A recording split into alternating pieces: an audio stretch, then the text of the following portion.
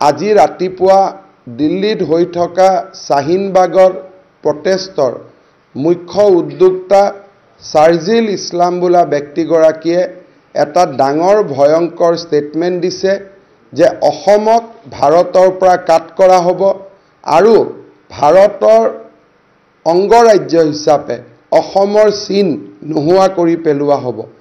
ই এটা ডাঙৰ dangerous statement হয়। ৰাজ্য চৰকাৰে ইয়াৰ গোটেই বিষয়টো ৰাজ্য চৰকাৰৰ দৃষ্টি আকৰ্ষণ হৈছে আৰু ৰাজ্য চৰকাৰে এই ছাৰ্জিল ইছলাম বোলা ব্যক্তিগৰাকীৰ বিৰুদ্ধে ফৌজাদাৰী গোচৰ তৰিবলৈ সিদ্ধান্ত লৈছে।